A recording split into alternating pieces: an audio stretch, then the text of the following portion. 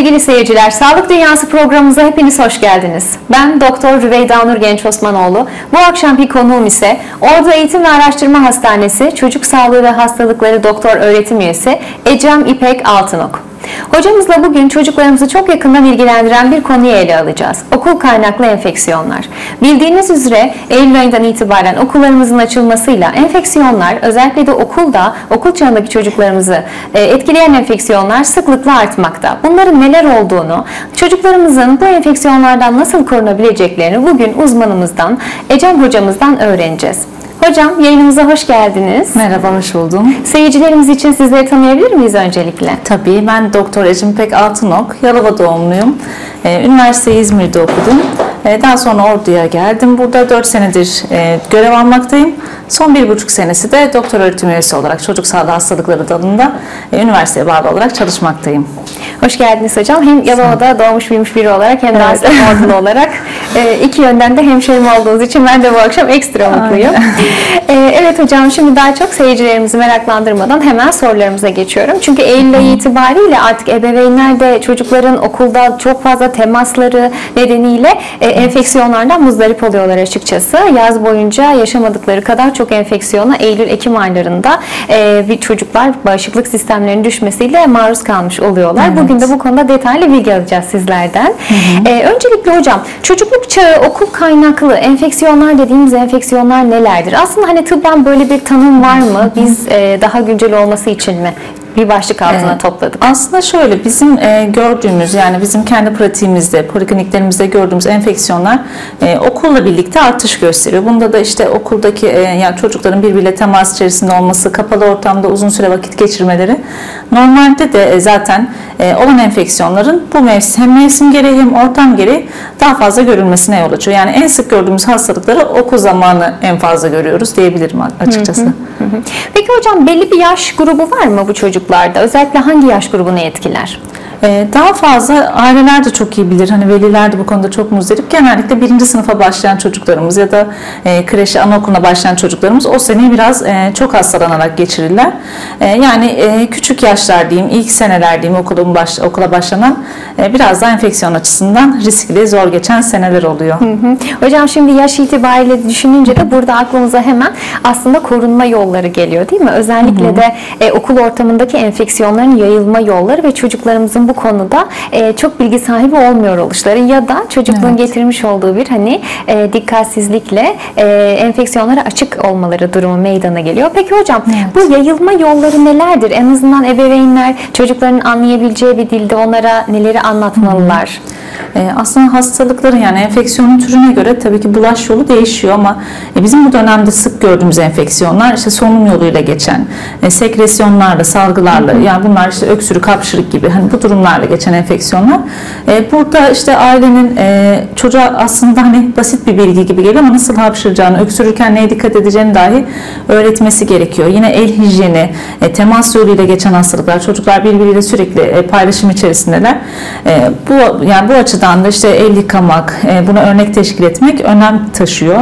E, temizlik kurallarını, e, uyması gereken aslında basit hijyen kurallarını okula başlamadan önce, buna işte tuvalet temizliği de dahil e, çocuğa öğretmek çok önemli. Hı hı, yani Daha aslında okula başladığı dönemde de bir kişisel hı hı. hijyenle alakalı evet. anne ev ortamında daha doğrusu anne baba gözetiminde bir bilgi sahibi olmuş Aynen, olması gerekiyor. halledilmesi Öyle önemli. Değil mi? Yine hani tabii öğretmenlerimiz belki okulun bunda da etkisi hı hı. var ama e, öncelikli olarak çocuğa kişisel hijyenle alakalı temel bilgilerin öğretilmiş olması evet. burada önemli bir kilit nokta. Peki Hı-hı. hocam tamam bunları ebeveynlerimiz sağladılar ama bir de e, çocuğun bağışıklık sistemi açısından olaya bakacak olursak bunun Hı-hı. rolü nedir bu bağışık şey e, enfeksiyonlarda? Önemli tabii yani her çocuk aynı geçirmiyor. Evet birinci sınıf dedik e, daha fazla hastalanıyor. Genellikle hani çocuğun e, ortalama hani en sık hastalandığı yıllar bu yıllar oluyor ama e, her çocuk aynı atlatmayabiliyor. Bağışıklık tedbirlerimiz burada önemli. E, mikroplarla karşılaşmak, e, buna vücudumuzun verdiği yanıt önemli. E, çünkü vücut buna bir savunma mekanizması geliştiriyor. Yani ilk başta mikrobu tanımadığı zaman, e, o mikrop, mikrop vücuda girdiği zaman e, vücut ona bir savaş başlatıyor. Bunu beyaz kan hücresi dediğimiz hücrelerimiz e, antikor üreterek yapıyorlar. E, daha sonraki enfeksiyonlarda e, veya işte aşı gibi çeşitli yöntemlerle e, bu e, sonraki sürecin daha kolay ge- geçmesini sağlayabiliyoruz ama ilk karşılaşmalar önemli. E, bağışıklık da aslında biraz böyle böyle güçleniyor. Yani hastalığı gördükçe, tanıdıkça, ona karşı savaştıkça e, sonrası biraz daha kolay oluyor. Tabii bağışıklık e, yapısal da e, bazı durumlarda e, gelişmemiş olabiliyor. Yaşa göre dediğimiz gibi biraz daha küçük yaşlarda e, daha az gelişmiş oluyor. Birçok çevresel etken bunu etkileyebiliyor. E, yetiştiği ortam, işte beslenme tarzı çocuğun e, yani çok yönlü bir durum ama e, temel olarak aslında birazcık e, hem aşılarla bunu korumamız, hani kazandırmamız, enfeksiyonları e, vücuda tanıtmamız gerekiyor. Hem de çocuk biraz daha e, geçire geçire aslında bunu öğreniyor kendisi doğal bir yolla. Temelde o zaman o enfeksiyon etkeniyle kontrollü karşılaşması aslında Evet, bir nevi çocuk öyle. için iyi. Evet. Değil mi hocam? Hani hem korumaya çalışıyoruz hem de düzeyiyle Ya doğal bir kontrollü. süreç diyebiliriz aynen. Yani olacak. Biz hastalığı geçirmemesini e, sağlayamayız ya da bunu sağlamak ne kadar doğru tartışılır. Yani hastalanacak ama e, sonraki seneler aslında e, bu hastalık biraz daha hafif seyredecek. Yani bundan çok korkmamaları gerekiyor ailelerin ama e, bazı özel durumlar var gerçekten. Yani düşük bağışıklıklı olan çocuklar işte e, yapıcı hassas çocuklar. Bunlarda tabii özel tedbirler, e, başka tedaviler uygulanabilir. Hı. Onlar da yine sizin uzmanlığınız Evet. e, ışığında inşallah hocam hani kliniklerde karar takip uygulanacak evet. tedaviler oluyor. E, peki hocam günümüzde biliyorsunuz popüler e, işte artık mecralarda sosyal medyada diyelim çok fazla bilgi kirliliği var. Özellikle de aşılarla ilgili. Şimdi konumuzda çocuklar olunca bu konuyu sizlere mutlaka danışmak istedik. Aşılar özellikle de okul kaynaklı enfeksiyonları önlemede nasıl bir rol oynar? Temelde aşının işlevi nedir? Aşılar çok önemli bizim için e, özellikle pediatri hekimler için olmazsa olmaz. Yani e, aşı gerçekten e, tıbbın hani kazandırdığı en büyük mucizelerden yani en büyük e, güzelliklerden birisi E, çok üzücü gerçekten. Maalesef böyle bir yaklaşım var. E, son zamanlarda aşı karşıtlığına doğru bir kayış var. Biz mümkün oldukça ailelerimiz bu konuda e, polikliniklerde ziyaretlerinde sağlıklı çocuk takiplerinde bilgilendirmeye çalışıyoruz. Yani bu aşıların gerekliliği. Çünkü e, burada amaç hem kendi çocuğumuzu korumak hem de toplumda yayılımı engellemek. Yani ister istemez e, diğer çocuklar hasta olunca onlar aşısız olursa bu tekrar bir yayılış veya o hastalığın e, aslında yok edilmesini e, engelleyiş oluyor. O yüzden e, bu hastalıkları artık dünya üzerinden silmek için e, kendi çocuklarımızın da bu hastalıklarla mücadele etmesi, etmesini artık hani ortadan kaldırmak için e, mutlaka toplumsal bilinçlenme, toplumsal aşılanma gerekli. Hı hı. Hocam o zaman aşılarla tamamen engelleyebildiğimiz hastalıklar oldu mu? Tabii. tarihte? hı hı. Ee, yani silinen, eradike edilen hastalıklar var. Ee, çiçek hastalığı örneğin artık görmüyoruz. Ee, çocuk felci çok az, difteri yine eradike edilen hastalıklardan. Ee, diğer aslında aşı takviminde, aşı kapsamında olan birçok hastalıkta e, artık az veya e, çok hafif semptomlarla görülüyor. Yani bir kısmı tamamen dünyadan e, artık hani dünya üzerinde görünmüyor ama görülenlerde de çok büyük e, yol kat ettik. Tabii ki bunda da geri dönüş olsun istemiyoruz. Yani e, her e, aşısız çocuk bizim hani bu mücadelemizi aksatıyor ya da e, buna doğru bir gidiş bütün o şimdiye kadar olan çabayı boşa hani harcamış oluyor. O yüzden e, belki de yıllar sonra yine birçok hastalık eradike edilecek. Hani böyle bir yoldayken e, bunun düzgün uygulanması çok önemli. Hı hı. E, bir de hocam çocukluk çağı aşı programımız var. Sağlık Bakanlığımızın e, şey yapmış olduğu, e, yaygın olarak kullanmış olduğu. Burada hangi enfeksiyonları e, çocukluk çağı aşılama programlarıyla önleyebiliyoruz? Bir de bir nolu bir görselimiz vardı. Onu alabiliriz izninizle hocam.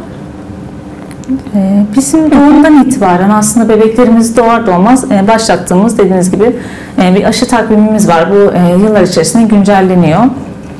Burada hepatit B ile başlıyoruz.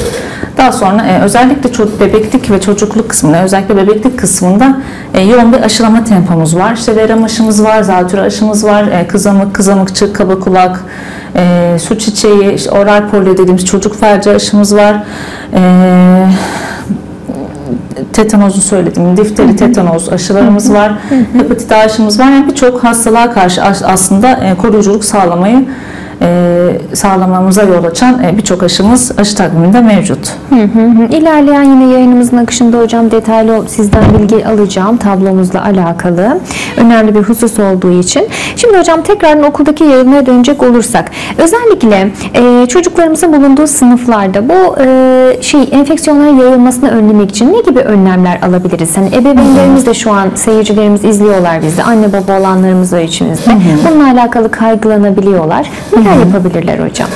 E, Yani okulun tabii ki yani çocuğun öncelikle hastaysa, e, hastalık semptomları gösteriyorsa okula gitmemesi en başta e, en kolay alabileceğimiz önlem. Çünkü diğer çocuklar hasta olmaz. Yani bunu e, bilinçlenerek aslında tüm veliler uygularsa görecek hastalık sıklığı da azalacaktır.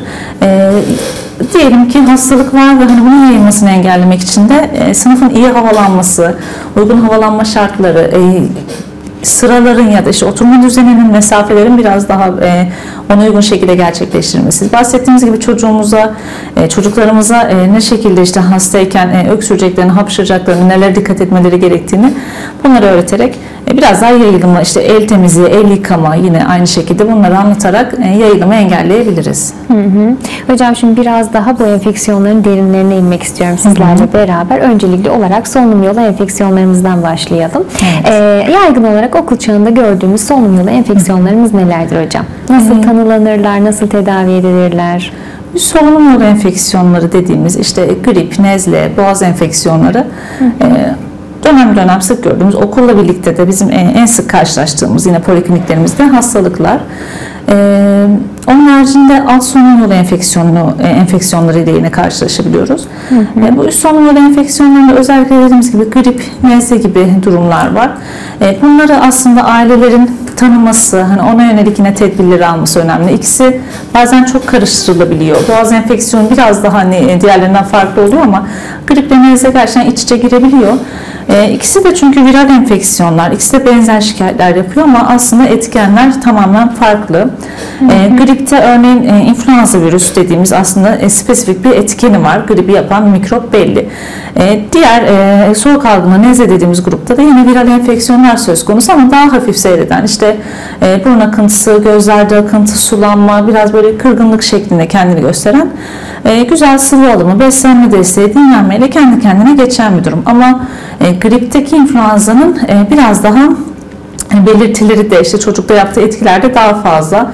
Daha yüksek bir ateş görüyoruz. Ee, onun haricinde vücut ağrıları, baş ağrıları e, veya ilerleyici olabilen durumlar olabiliyor.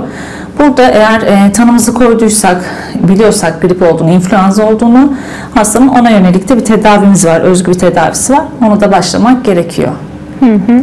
Hep karıştırılan bir konu hocam griple aslında Evet. e, soğuk algınlığı bu noktada bizim için de çok iyi oldu açıklamalarınız gerçekten. Gripin Evet. anlattığınıza göre hocam daha ağır seyrettiğini görüyoruz ve e, aslında bakılırsa bu da e, komplikasyon oluşturma riskinin çok olduğunu gösterir bize. Yani e, kabaca tabir edecek olursak beklenebilecek e, kötü sonuçlar söyleyebiliriz aslında kabaca tabirde.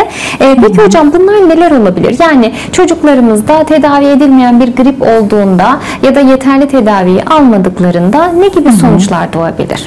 Evet, gripte biraz daha olumsuz sonuçlarla karşılaşabiliyoruz. Soğuk algını daha kolay, e, biraz destekle geçebilirken e, gripte bu durum e, kulak enfeksiyonuna, pnömoni dediğimiz zatüre durumuna, yine sinüzite ilerleyebiliyor.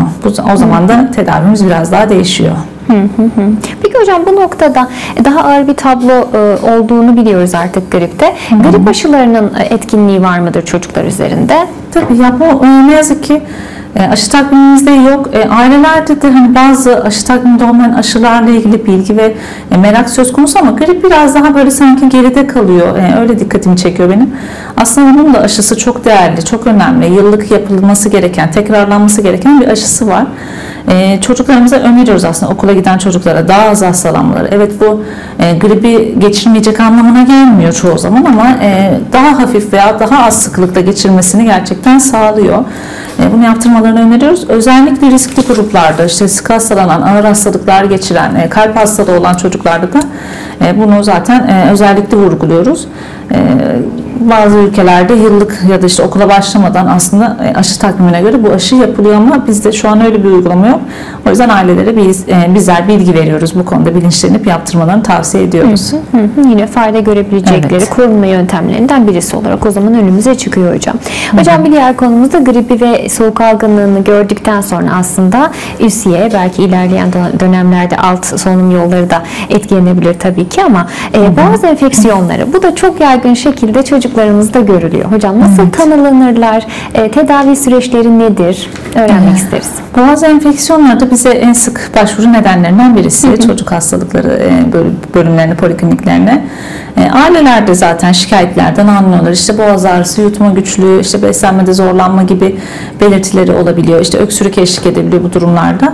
E, Bizde ama yani biraz daha e, bazı et, bakteriyel etkenler söz konusu olsa da e, çoğunluğu aslında viral hastalıklar. Yani viral hastalık dediğimiz e, kendi kendine yine geçmesini beklediğimiz çok net bir antibiyotik tedavisi gibi tedavisi olmayan e, hastalık grubu. Bunun ayrımını yapmak önemli. E, çünkü aileler yanılgıya düşebiliyor. Bazen hekimler de yanılgıya düşebiliyor. Yani ister istemez birbirini taklit edebiliyor. O hastalık, o boğaz enfeksiyonu viral mi? Yani virüse bağlı mı, bakteriye bağlı mı? Bunu hastanın şikayetleriyle işte ateşinin ne kadar dirençli, ne kadar hangi dereceye kadar yükselmesi, e, çocuğun semptomları, işte e, şikayetlerinin yoğunluğu, yaptığımız muayenedeki o e, gördüğümüz boğaz ve işte çevre dokuların durumu. Yine e, bizi- görse iki numaralı görselimiz vardı hocam ee, burada evet, da. hı hı. Ee, bizi biraz bu ayrımda e, kolaylaştırabiliyor. Ee, Viral etkenleri daha fazla görüyoruz aslında ve dediğimiz gibi burada e, işte beslenme desteği, e, ağrı kesici tedaviler vesaire bunlarla iyileşme daha kolay ama bakteriyel bir tonsilit dediğimiz yani bakteriyel boğaz enfeksiyonu düşünüyorsak e, burada antibiyotik tedavisi vermemiz gerekiyor. E, bu grupta da en fazla gördüğümüz e, streptokok dediğimiz bir bakteri. E, halk arasında beta mikrobi diye de biliniyor aslında. E, burada şekilde de görüldüğü gibi böyle beyaz e, iltihaplı bir görünüm oluyor bademcik yani tonsil üzerinde. E, bunu görünce biraz daha e, bu tanıya doğru gidiyoruz. Daha büyük, daha kabarık, e, daha kızarık bademcikler ve çevresindeki dokuda e, daha fazla kızarık bekliyoruz. Dediğimiz gibi çocuğun ateşi daha dirençli oluyor, baş ağrısı, vücut ağrısı, eklem ağrıları eşlik edebiliyor. Ee, eğer yine de şüphede kalırsak, çünkü bazı viral hastalıklarda da bunu taklit edebilen, işte e, e, Epstein-Barr virüs dediğimiz öpücük hastalığı diye bilinen bir e, viral hastalık var. Benzer bir tablo yapabiliyor, e, tamamen farklı bir hastalık olmakla birlikte. E, arada kaldığımız durumlarda hızlı antijen testi ya da e, boğaz kültürüyle tanıyı koymamız kolaylaşıyor. O durumda böyle tanı yöntemlerine başvuruyoruz. Hocam bir diğer önemli sorum sizlere antibiyotik meselesi. Evet. Şimdi şu ana kadar bahsetmiş olduğumuz rahatsızlıklardan her birinde antibiyotik kullanmak endikasyon gereği midir? Yani gerekli midir? Doğru mudur? Ee, Kesinlikle ya bu bizi de gerçekten zorlayan e, bir durum. Hani bunu e, kırmak aslında biraz daha zamanımızı alıyor.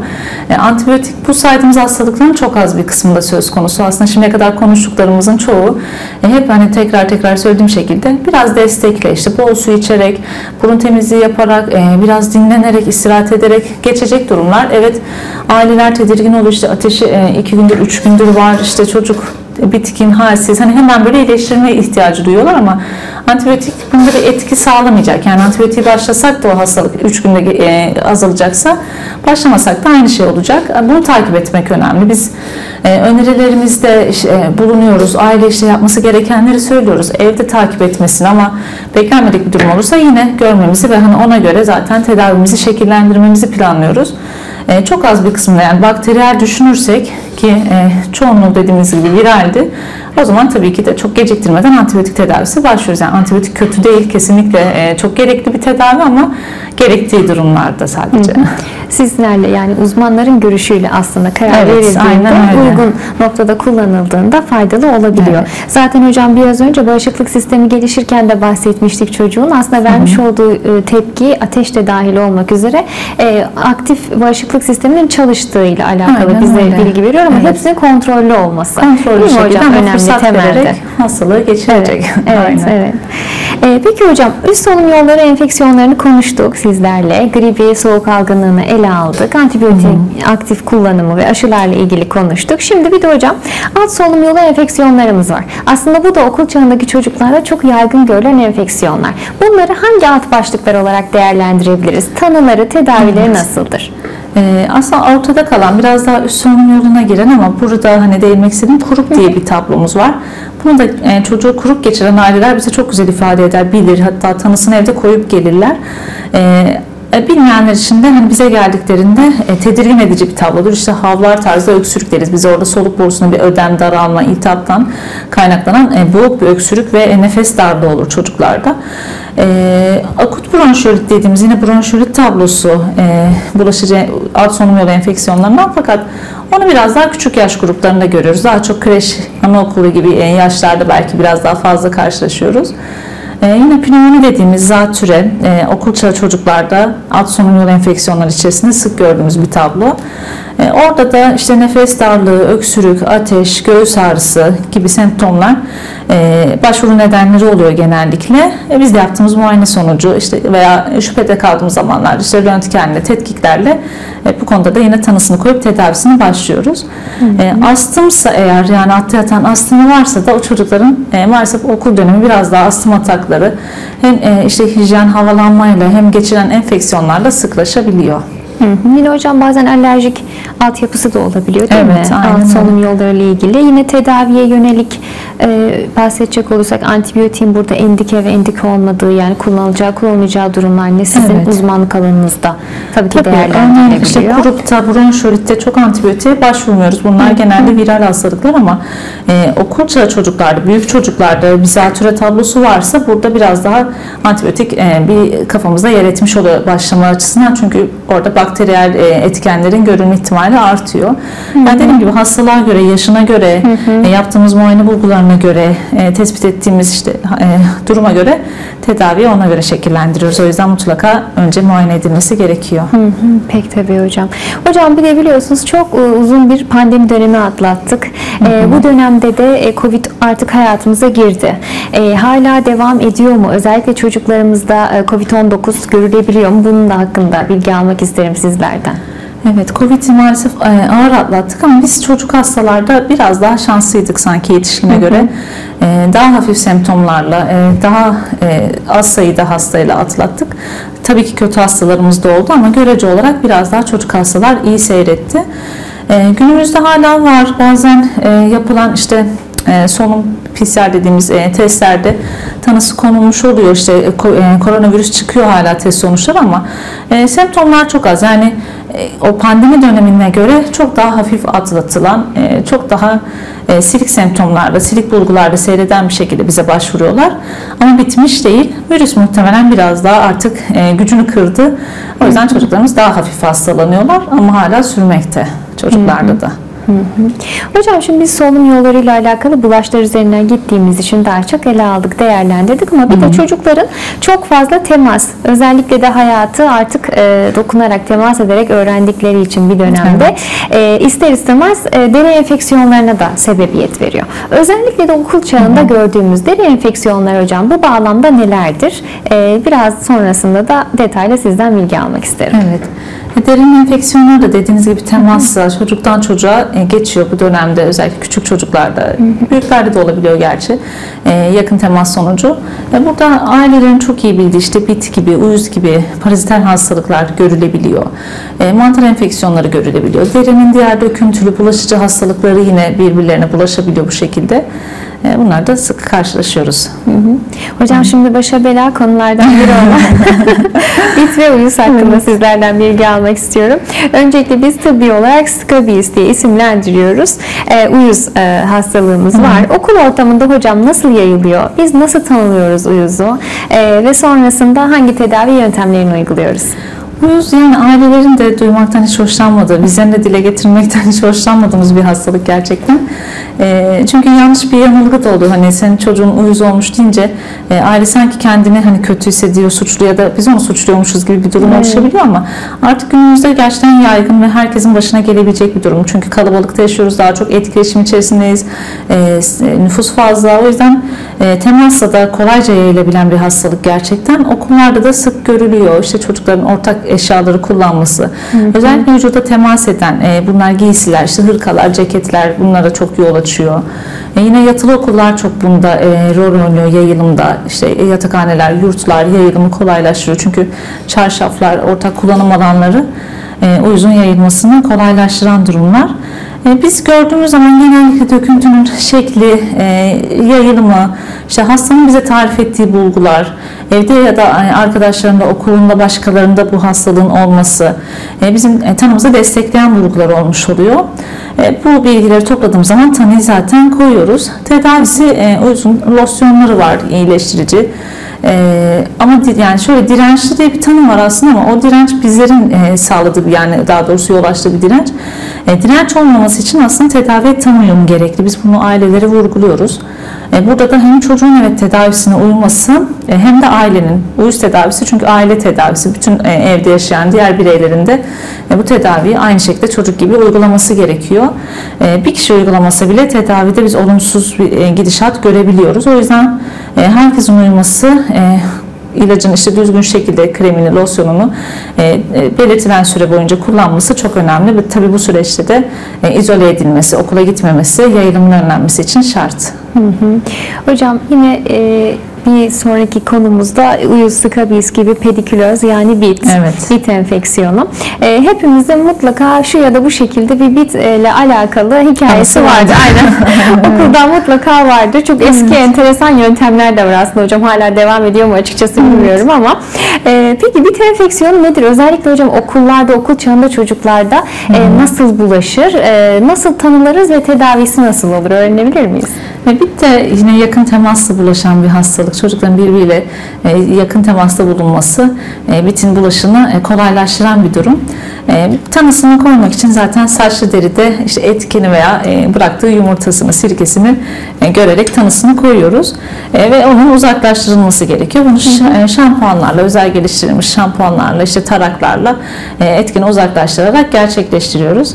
Yine aynı şekilde aileye bunu açıklamak, tedirginliğini almak, biraz daha tedavi uyumu kolaylaştırıyor. Gerçekten e, yani çok çocuğun başına gelebilen bir durum. Hı hı. Kendini kötü hissetmemelerini sağlamalıyız. Buradan da mesajı verelim. Yani hani bu şey algısı çocukta e, bit ya da uyuz çıkmış olması aslında orada ailenin herhangi bir şekilde işte temizlik ya da hijyenle alakalı bir sıkıntısı olduğunu da göstermiyor. Her hastalık gibi olabilen normal, evet toplum içerisinde bulaşabilen e, etkenler. Hatta hocam bir dönem uyuzun e, işte soyunma kabinlerinde kıyafet alırken bile hı hı. bulaşı olduğuna dair hani şey olmuştu. Evet toplumsal evet. bir e, çıkarımımız da olmuştu açıkçası. Evet. Öyle olunca hani her alan her yerde bulaşabilen risk altındayız. Evet, evet, risk altındayız. Toplu Hı-hı. yaşamanın belki de dediğimiz bir gibi bir gereği evet. ister istemez modern dünyada. Hı-hı. Evet şimdi hocam bir diğer sorumda biz e, derideki döküntüler yani derideki hastalıklardan bahsetmeye başladık. Bir Hı-hı. nokta diğer noktada döküntüler. Çocukluk çağında bir sürü döküntü oluyor çocukların Hı-hı. üzerinde. Bunların hepsi enfeksiyöz dök- döküntüler midir? Yani enfeksiyon etkenleri midir? E, bunu öğrenmek isterim sizlerden. E, sonrasında da hocam el ayak ağız hastalığı ile alakalı detaylı bilgi almak isteriz. 3 e, numaralı görselimizi de burada alabiliriz izninizle. Evet. El ayak ağızdan başlayayım o zaman Olur, döküntü lütfen. demişken. Yani burada da yani ailelerimiz artık çok bilinçli, tanıyorlar. Bize e, birçoğu tanısını koyarak aslında geliyorlar. E, şekilde görüldüğü gibi tipik döküntüsü olan, hani kolay tanınan bir hastalık el içlerinde, uç içlerinde, ayak tabanlarında, yine üstünde, e, ağız çevresinde ve ağız içerisinde e, gördüğümüz bazen diz kapaklarında işte kalçada da döküntünün eşlik ettiği bir tablo. E, bir viral hastalık yine. E, diğer viral hastalıklarda saydığımız gibi kendi kendine geçen bir hastalık aslında. Özel bir kremi, özel bir işte tedavi yöntemi yok. E, biraz birkaç gün artış bu döküntülerde artış olmasını bekleriz. Daha sonra yavaş yavaş döküntülerin geçerek bir hafta içerisinde kendini sınırlamasını, hastalığın iyileşmesini bekleriz. Herhangi bir tedavi versek de geçecek, vermesek de geçecek ama ateş olabiliyor. Ee, biraz beslenme, ağız içerisindeki özellikle yaralara bağlı beslenme bozulabiliyor. Ee, böyle bir durumda da e, işte onu korumak, sıvı desteği, ateş düşürücüler. Gerekirse bazen yatırdığımız vakalarda oluyor. Ee, beslenmemeye bağlı oluşan sonuçlardan dolayı. Bunları önlemek lazım. Yoksa herhangi bir organ tutulumu ya da yayılımını, ilerlemesini çok beklediğimiz bir hastalık değil. Aslında bizim için masum bir hastalık. E, bulaşıcı olduğu için de tabii yine hastanın izole edilmesi önemli. Hı hı. Ee, diğer soruya gelecek olursak her döküntü enfeksiyonu değil aslında. Yani birçok farklı nedenle işte alerji durumları gibi e, durumlarla oluşan döküntüler de var.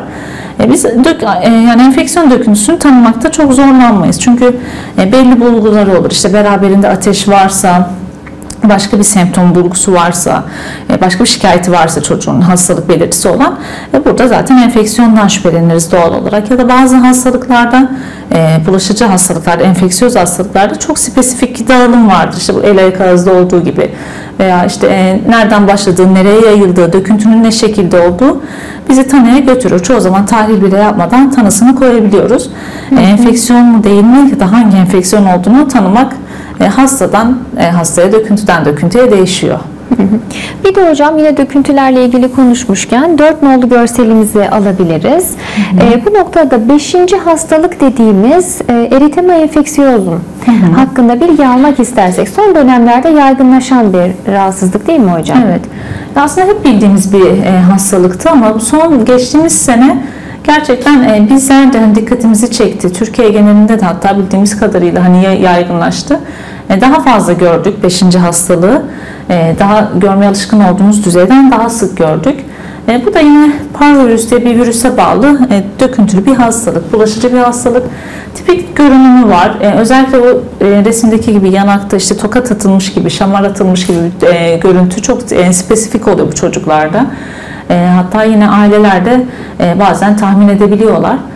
E, çok özel bir tedavi vermiyoruz ama burada bazen e, hızlı seyredebiliyor, kötü seyredebiliyor nadiren de olsa e, daha sıkı takip etmemiz gereken en azından e, kıyaslayacak olursak el ayak ağıza göre bizim için biraz daha hani takibini böyle yakın yaptığımız hastalık grubundan ateşini takip ediyoruz, ateşe bağlı sorunları takip ediyoruz. İşte kan değerlerinde düşüklükler olabiliyor bu çocuklarda.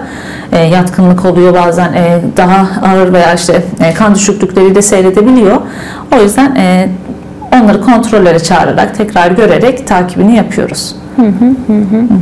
Evet hocam yani yine e, bahsettiğiniz gibi klinik aslında hastalığa göre değil hastanın kendisine evet. göre oluyor. Evet. Sizler de bunları değerlendirerek yap alınması gereken ya yapılması gereken tedaviyi şekillendiriyorsunuz ama bu Hı-hı. zamana kadar e, bahsettiğimiz noktalarda kişisel hijyeni çocuğun aslında öğrenmesi ve sağlaması Hı-hı. öncelikli olarak e, anladığımız kadarıyla dikkat edilmesi gereken konu. Evet. Ebeveynlerimize belki bu noktada bir görev düşüyor. Olabildiğince yaşına uygun şekilde kişisel hijyenini sağlamasına yönelik tedbirler Kesinlikle olabilir. Evet şimdi hocam bir diğer konumda size sormak istediğim özellikle çocukluk çağında çok sıkça görülen ishal ve kusma nedenleri. Ee, bunlar neler olabilir? Hangi virüslerden kaynaklanabilir? Hangi bakterilerden kaynaklanabilir? Hı. Ailelerin yapabileceği korunmak için herhangi bir şey var mıdır? Evet. Yani ishal kusmanın hani enfeksiyona bağlı en sık gördüğümüz nedenleri gastroenterit dediğimiz aslında bağırsak enfeksiyonları. E, yine okul dönemlerinde e, salgınlarla karşılaşabiliyoruz. Daha sık görebiliyoruz. Özellikle ilkbahar, sonbahar gibi e, dönemi kapsayan zamanlarda daha sık görüyoruz. Burada etkene geçmeden önce ailelerin aslında temel olarak hepsinde hemen hemen hepsinde diyeyim tedavimizde önlememiz de aynı. İşte yine aynı şekilde el yıkama, el hijyeni, tuvalet temizliği bunun kazandırılması çok önemli. Yenilen tüketilen gıdalar, işte tüketilen sular bunların temizliğinden emin olmak gerekli. örneğin meyveyi, sebzeyi yıkamadan yememek, tüketmemek gerekli. ve daha sonra da dediğimiz gibi yayılımı önlemek şart. E, daha çok viral enfeksiyonlar yine burada söz konusu. Aynı şekilde diğer hastalıklarda olduğu gibi virüsler biraz daha hakim. Ama bakteriyel e, gastroenteritler, bağırsak enfeksiyonları ya da parazit kaynaklı olabiliyor. E, bunlar da biz yine gidişatından ya da hastanın bulgularından şüphelenip tanısını koyabiliyoruz. Virüs olarak yine rotavirüs, norovirüs, sık gördüğümüz virüsler. Özellikle e, rotavirüsü aileler bilir çünkü bunun aşısı da var. Aşısıyla ilgili bebeklik döneminde de konuşuyoruz. Oradan da biraz daha e, konuya hakimler. E, ama sadece bebekliği kapsayan bir durum değil. Yani okul çağı çocuklarda da rotavirüs enfeksiyonları görebiliyoruz. E, temel olarak her ikisi de aslında okullarda salgın yapabilen işte yüksek ateşle, kusmayla, e, yoğun bir ishalle seyreden enfeksiyonlar. E, rotavirüse karşı bahsettiğimiz gibi aşı var. Bu zehirli ishal diye bilinen bir durum. E, ailelere bu konuda işte özellikle 3. ay, 5. ay gibi yani ilk 5 ay, 6 ay içerisinde aşılarını yaptırmalarını e, tavsiye ediyoruz. Çünkü zaten daha sonra yapılamıyor. Hani belli bir süresi olan bir aşı. E, burada yapılan aşı çocuğu zaten uzun yıllar korumuş oluyor. Okul zamanı da bu virüse yakalanmasını engelliyor. E, yakalandığı takdirde çünkü ne olabilir? İşte Evet, e, tedavisi çok e, yine e, özgün bir tedavisi olmamakla birlikte e, ağır seyrettiği durumlarda biraz çocuklarda sıvı kaybı gelişebiliyor. Bu sıvı kaybının yarattığı durumlar söz konusu olabiliyor, eksiklikler. E, buna bağlı nedenlerle yatış gerekebiliyor. E, yatıştan dolayı okuldan uzaklaşması gerekiyor çocuğun. E, yani birbirini e, devamını getiren süreçler oluşuyor. O yüzden e, bunlara yol açmamak için en güzeli aslında hem kurallara uymak hem de aşıyı yaptırmak. Hı hı, hı. Teşekkür hı hı. ediyoruz hocam. Peki hocam bu gastrointestinal enfeksiyonların okulda yayılmasını önlemek için acaba verilmesi gereken sağlık eğitimi neleri kapsamalı? Ya da ebeveynler neler yapabilir bu konuda? Ebe, ya burada aslında e, hem ebeveyne hem öğretmene hem işte idarecilere herkese rol düşüyor. E, ebeveynler aynı şekilde hijyeni evde korumalı, sürdürmeli, çocuğa bununla ilgili e, tedbirleri anlatmalı. El yıkamak, el temizliği yani bunu çünkü hem e, aslında söylenen kadar kolay olmayabiliyor çocuklarda bu alışkanlığı kazandırmak. Hem e, bir örnek de oluşturmak gerekiyor aslında. Hı hı. Hem de bunu e, düzenli uygulatmak gerekiyor. E, evde uygulamayan çocuk okulda da uygulamayacaktır. O yüzden mutlaka el temizliğine, hijyenine dikkat etmelerini öneriyoruz. E, okulda yine öğretmenlerin buna özen göstermesi, belki eğitimlerinde buna özellikle yer vermeleri, e, yine aynı şekilde okulda belki sağlıkçıların, sağlık profesyonellerinin eğitimler vermesi e, çocuklarımızı bilinçlendirmek için etkili olabilir. Hı hı. Hocam bir diğer enfeksiyon da aslında bizim konjüktivit dediğimiz e, göz enfeksiyonları. Evet. Bunlar da okullarda yaygın olarak görülüyorlar. Peki biz evet. bu noktada e, nasıl bir tedavi verebiliyoruz e, veya da bu bulaş yolunu nasıl engelleyebilir çocuklar? Evet, yani göz enfeksiyonları da gerçekten Hı-hı. sık. E, bunlar da bizlere başvuruyor genellikle e, ilk Hı-hı. olarak e, hastalıklar. Burada şimdi gözde yarattığı bulgular işte kızarıklık, kaşıntı, batma, şişlik, ödem gibi durumlar. Çocuklar tabii okula bu şekilde giderlerse işte okulda gözlerini kaşıyorlar, ovuşturuyorlar ister istemez çünkü bir orada rahatsızlık da yaratıyor. Daha sonra o eliyle başka cisime dokunup ya da işte arkadaşına temas ettirdiği zaman ona da geçmiş oluyor. Gerçekten hızlı yayılım gösteren bir durum göz enfeksiyonları. Ee, özellikle adenovirüs diye bir grup e, enfeksiyon var ki hani oldukça hızlı yayılıyor. E, bu durumda e, hep söylediğimiz yine hijyene dikkat etmek gerekiyor. Biz e, muayenemizde konjonktivit tanısını koyduğumuz zaman, göz enfeksiyonu dediğimiz zaman onun damlasını, işte merhemini, e, tedavisini başlıyoruz. E, aileler bunu yine çocuğu okula göndermeyip, bulaşı engelleyip evde uyguladıkları takdirde genellikle ağır seyretmiyor ama dikkatli olmak gerekiyor. Hı hı, teşekkür ederiz hocam. Hocam şimdi size e, aslında bir dizi özellikle çocukluk çağında görülen e, rahatsızlıkla alakalı sorularım var ama bunun öncesinde tekrar aşı takvimimizi yani bir nolu görselimizi mümkünse hı hı. ekrana alabilir miyiz? Tamam evet harika. Şimdi hocam bu görselimizde ekranda dururken size sorularımı yöneltmek istiyorum izninizle. Hı hı. Özellikle hocam e, kaba kulak hastalığı nasıl bir hastalıktır? E, enfeksiyon e, nasıl bulaşır özellikle? Okulda nasıl yayılabilir? Tedavide neler yapıyoruz? E, kapı kulakta aslında bu aşı takvimleri birçok hastalık aslında aynı e, birçok hastalık için aynı şey e, geçerli. Kendisi harici yarattığı sorunlar da yani ileride yarattığı komplikasyonlar da önemli olan hastalık grupları bunlar. Hı Kapı kulakta bunlardan birisi. E, menenjit dahil birçok sebebi e, birçok hastalığa yol açabiliyor. E, sadece yaptığı enfeksiyon değil e, bizim için önemli olan. E, kaba kulak zaten e, tükürük bezlerinin iltihabına yol açan bir durum. İşte e, kulak arkasında boğaza doğru yayılan ilerleyen şişliklerle tanısı anlaşılıyor. İki taraflı şişlik oluyor çocuklarda. Ama aşı takvimiyle birlikte yani aşı uygulanmasıyla birlikte artık oldukça az görüyoruz. Yani çok sık gördüğümüz bir durum değil. E, hem hastalığı hem de getirdiği sorunları e, gitgide artık e, azalan sıklıkla görmekteyiz. Hı hı. Peki hocam su çiçeği hakkında sizlerden bilgi almak hı hı. istersek? E, su çiçeği de kaba kulakta ikisi de sekresyonlarla yayılan hastalık. Su çiçeği yine o şekilde salgılarda sekresyonların bulaşmasıyla yayılıyor. E, temas yoluyla yayılıyor bu hastalıklar. E, su çiçeğinde de e, tipik döküntüler olur. İşte yine ateş olur.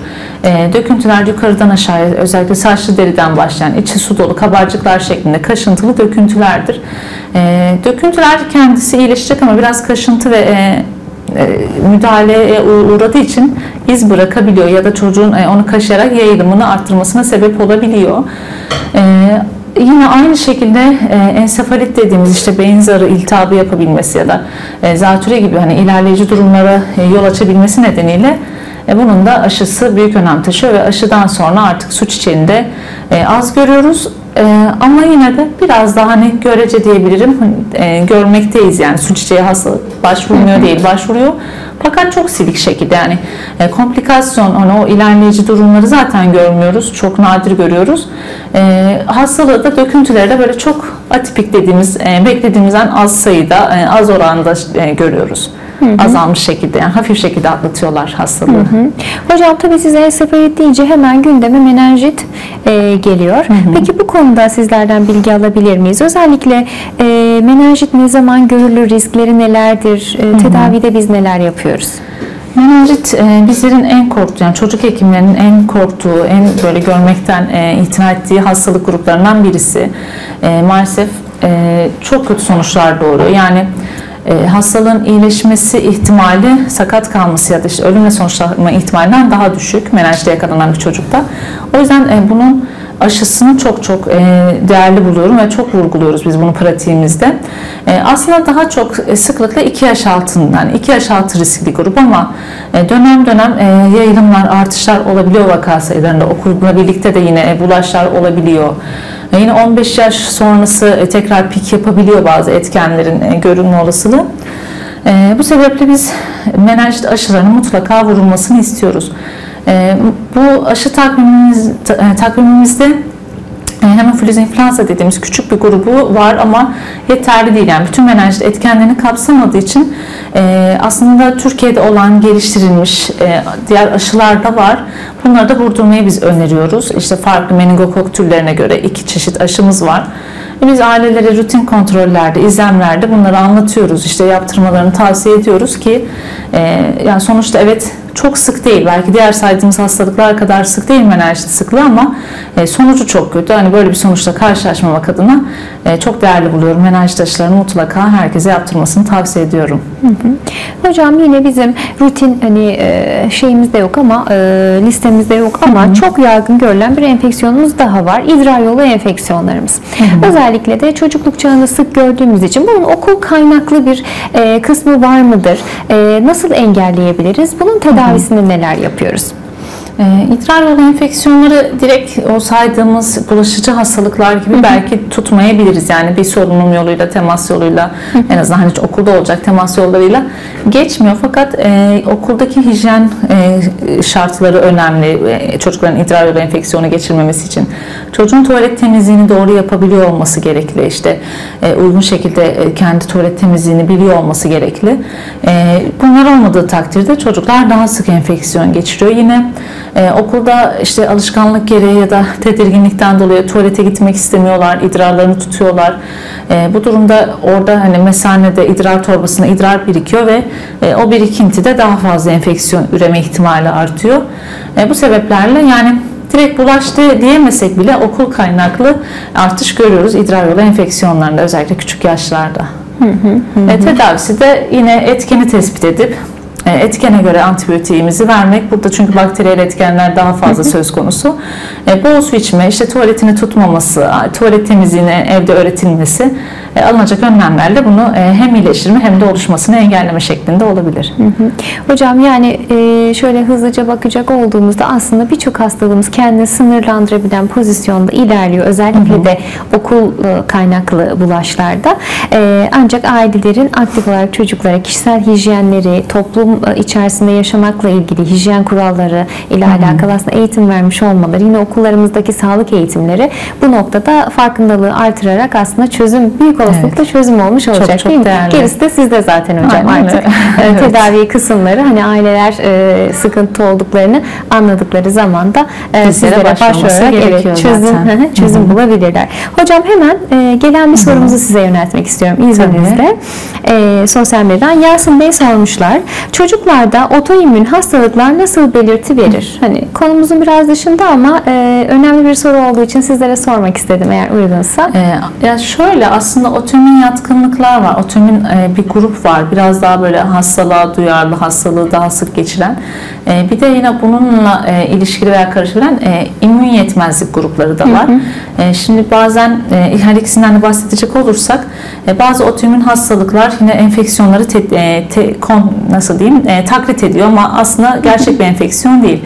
Örneğin boğaz enfeksiyonunu taklit eden bir e, PFAPA diye bir hastalığımız var. Otoimmün kökenli.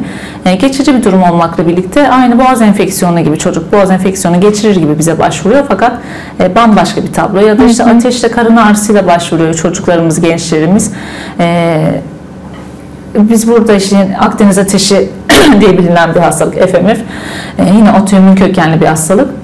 Bazen enfeksiyonla karışabiliyor. E, bak, bağırsak enfeksiyonu gibi düşünülebiliyor. Buna yönelik tedaviler verilebiliyor bu süreci anlayana kadar ama e, şüphelendiğimiz ya da tekrarladığını gördüğümüz takdirde e, acaba mı diye hani buna yönelik tetkikler, buna yönelik tedavilerle hastaları takip etmek gerekiyor. Hı hı. E, bir de immün yetmezlikli dediğimiz gibi gruplar var. Bunlar da bazen e, yani geç semptom veren, doğuştan olanlar var, geç e, fark edilenler var, geç e, belirti bulgu verenler var.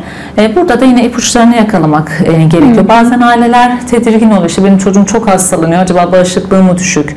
E, bir anormallik mi var diye ama e, bizim için yani senede onu bulan bir üst solunum yolu enfeksiyonu bile normal. Hani e, basit bir dediğimiz gibi grip, nezle gibi geçiriyorsa ya da basit viral boğaz enfeksiyonlarıysa senede ona kadar bunu görebiliriz. Hani bu bizim için bağışıklığı düşük demek değil ama bu çocuk e, senede 2'den fazla 3-4 kere işte zatüre geçiriyorsa, kulak enfeksiyonu geçiriyorsa, çok sık ishal oluyorsa, e, beklemediğimiz bölgelere enfeksiyon ilerliyorsa, işte cilt enfeksiyonları, abseler e, geçiriyorsa e, veya çocuğun büyümesinde, gelişmesinden hani sağlıklı gitmediğini düşündüren bazı gerilikler, bulgular varsa e, burada da bağışıklığı biraz düşük mü diye şüphelenmek gerekiyor. Yani bağışıklığın aslında hem e, kendi çalışma düzenindeki bozukluklar hem eksikliklerde gerçekten e, enfeksiyonlarla karışabiliyor.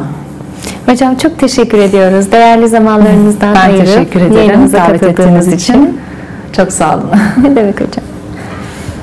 Haftaya yepyeni konu ve konuklarla karşınızda olmak dileğiyle sağlıkla kalın.